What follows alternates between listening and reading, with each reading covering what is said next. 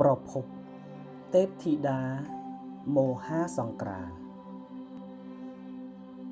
ខ្ញុំសង្កេតឃើញថារៀងរាល់ពិធីបុណ្យចូលឆ្នាំថ្មី ប្រពៃណីចិនម្ដងម្ដង នៅស្រុកខ្មែរតែងតែមានពាក្យចំអកលក់លើយអំពី ខ្លួនជាខ្មែរតែចូលឆ្នាំតាមចិន តាមពិត ខ្ញុំក៏មិនបដិសេធរាល់ពាក្យចំអែចំអន់ទាំងនោះឡើយគឺពេលខ្លះការធ្វើពិធីបុណ្យចូលឆ្នាំ ប្រពៃណីចិនរបស់ខ្មែរគ្រាន់តែធ្វើតាមគ្នា ដោយចង់បង្ហាញថា ខ្លួនជាចិនពូកែរកស៊ីដែលធៀបពិត ខ្លួនពុំមានចប់សាច់ឈាមជាចិនសោះក៏មាន ក្នុងន័យនេះខ្ញុំមិននិយាយចំពោះ អ្នកដែលជាប់ខ្សែស្រឡាយចិនពិតប្រកបនោះឡើយតើអ្នកស្ដាប់មានឆ្ងល់ទេ ដែលប្រធានបទខាងលើខ្ញុំចង់លើកយកមកបង្ហាញពីប្រភពទេពធីតាបុណ្យចូលឆ្នាំថ្មីប្រពៃណីខ្មែរតែម្ដេចក៏លើកពីពិធីបុណ្យចូលឆ្នាំចិនទៅវិញតាមពិតការលើកឡើងមកបែបនេះ គឺមានបច្ច័យរបស់វា គឺ ក៏ព្រោះថាបុណ្យចូលឆ្នាំថ្មី ប្រពៃណីជាតិរបស់ខ្មែរយើងក៏មិនមែនកើតឡើងដោយឯកឯងនោះដែរបើមិនដូចនោះទេហេតុម្ដេចក្នុងថ្ងៃបុណ្យចូលឆ្នាំខ្មែរមានប្រទេសផ្សេងផ្សេងប្រារព្ធចំថ្ងៃដូចគ្នានោះដែរដោយមើលឃើញថាសិល្បៈវប្បធម៌ខ្មែរភាគច្រើន ត្រូវបានអ្នកសិក្សា ទាំងបរទេសនិងជនជាតិខ្មែរខ្លួនឯងទទួលស្គាល់ថា បានទទួលឥទ្ធិពលពីវប្បធម៌ឥណ្ឌាហេតុដូច្នេះហើយទើបធ្វើឲ្យខ្ញុំខិតខំស្វែងរក ប្រភពឯកសារមកពីឥណ្ឌាមកវិញរួចហើយក៏ទទួលបានលទ្ធផលមកបង្ហាញជនរួមជាតិខ្មែរឲ្យបានដឹងនិងយល់ពីចូលឆ្នាំខ្មែរយើង ចេញមកពីណា ទេវតាឆ្នាំថ្មីមានឡើងដោយសារអ្វីដែលខ្ញុំបាទនឹងបកស្រាយជម្រាបជូន តែមិនមានការឯកភាពផ្លូវការណាមួយ ចំពោះការលើកឡើងនេះឡើយតាមការស្រាវជ្រាវបឋមរបស់ខ្ញុំពិធីបុណ្យចូលឆ្នាំដែលដូចនឹងប្រទេសខ្មែរយើង មិនត្រឹមតែមានប្រទេសថៃភូមាឡាវប៉ុណ្ណោះទេ គឺត្រូវបានរកឃើញថានៅអាស៊ីតសិនពិសេសប្រទេសឥណ្ឌារដ្ឋខ្លះក៏មានប្រារព្ធពិធីបុណ្យចូលឆ្នាំ ដោយប្រើតម្រាដោយបុណ្យចូលឆ្នាំថ្មី ប្រពៃណីជាតិខ្មែរយើងដែរតែមានលក្ខណៈខុសគ្នាដោយអន្លើអន្លើរដ្ឋមួយចំនួននៃប្រទេសឥណ្ឌាមានពិធីបុណ្យចូលឆ្នាំរបស់គេដូចជាម៉ាកាសង្ក្រានទី គឺសំដៅដល់ថ្ងៃចូលឆ្នាំខែមករានិងរដ្ឋមួយចំនួនទៀតថ្ងៃចូលឆ្នាំថ្មីឈ្មោះថា ចេត្រាសង្ក្រាន្តិគឺសំដៅដល់ថ្ងៃចូលឆ្នាំក្នុងខែចែក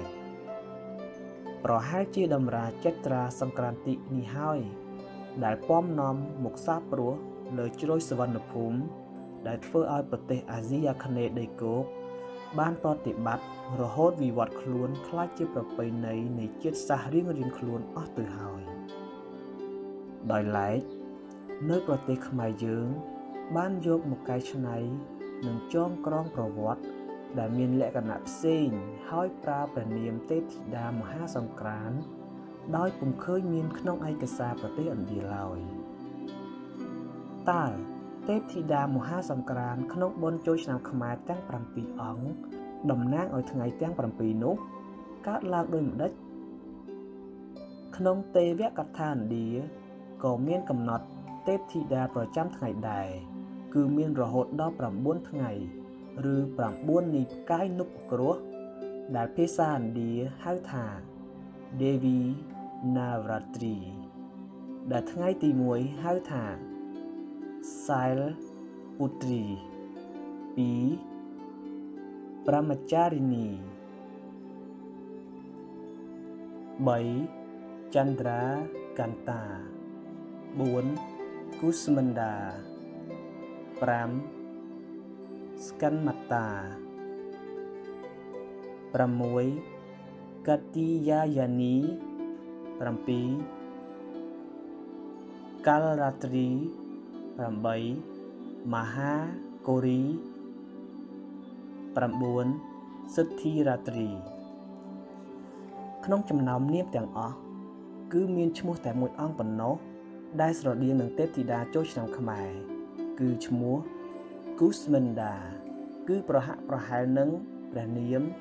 មន្តាទេវី ដោយកង្វះលទ្ធភាពក្នុងការស្វែងរកចម្លើយឲ្យពិតប្រាកដអំពីប្រភពនៃការកកើតទេវធីតាមហាសង្គ្រាមនេះខ្ញុំក៏យកឈ្មោះពាហនៈជំនិះនីទេវតាតាមថ្ងៃទាំង7ឆែកក្នុង Google ក៏រកឃើញថាតាមពិតទៅ ក្នុងទេវកថារបស់ឥណ្ឌាទេវៈទេវីរបស់ឥណ្ឌាទាំងអស់គឺសុទ្ធតែមានយានជំនិះជាសត្វទាំងអស់ ក្នុងនោះមានទេពធីតាដែលមានយានជំនិះជាគ្រុឌភាសាសំស្ក្រឹត Garuda ខ្លាជាភាសាសំស្ក្រឹត Viyaga ដែលភាសាខ្មែរយើងបំលែងជាភាសាសំស្ក្រឹតនោះគឺវិយាខៈដែលមានន័យថាសត្វខ្លាសេះជាភាសាសំស្ក្រឹត Asvaruda ឬ Asdo លាជាភាសាសំស្ក្រឹត Gadaba កតភៈដំរីជាភាសាសំស្ក្រឹតកាចាដែលភាសាខ្មែរគុជសាក្របីជាភាសាសំស្ក្រឹតមហិសាកង្កោកជាភាសាសំស្ក្រឹតមយុរឬមយុរា ប៉ុន្តែនេះគ្រាន់តែជាការសន្និដ្ឋានអំពីការយកលំនាំនីទេវីនៅក្នុងទេវកថារបស់ឥណ្ឌាមកបង្កើតជាទេពធីតានីចូលឆ្នាំថ្មីឬមហាសង្គ្រាមរបស់ខ្មែរតែប៉ុណ្ណោះព្រោះព្រះនាមនីទេវធីតាទាំង7របស់ខ្មែរគឺរកពុំឃើញមានចាឲ្យដូចទៅនឹងឯកសារឥណ្ឌាឡើយសូម្បីតែអត្ថន័យជាភាសាខ្មែរតុងសាកោរកៈរិសសាមណ្ឌាកិរណីកិមិរា និងមហោតរាក៏មិនដឹងថាមានន័យយ៉ាងម៉េចផងហើយនៅមានស្ទាតការអ្វីទ្រង់អំពរទ្រង់ព្រះហស្តស្ដាំឆ្វេងគឺកាន់តែឆ្ងាយទៀតហើយអាស្រ័យហេតុនេះយើងពុំអាចលើកជាអំណះអំណាងថាពិធីបុណ្យចូលឆ្នាំថ្មី ប្រពៃណីជាតិខ្មែរដែលមានតួអង្គទេវតាចុះមកដូវេនោះបានធ្វើតាមបុណ្យរបស់ឥណ្ឌានោះក៏ទេដែរ អាចត្រឹមនិយាយថា យើងបានយកលំនាំរបស់ឥណ្ឌាមកកែច្នៃដែលនេះបញ្ជាក់ឲ្យកាន់តែច្បាស់ថាវប្បធម៌របស់ខ្មែរមានពណ៌សម្បុរជាខ្មែរដោយត្រឹមមានឈ្មោះថា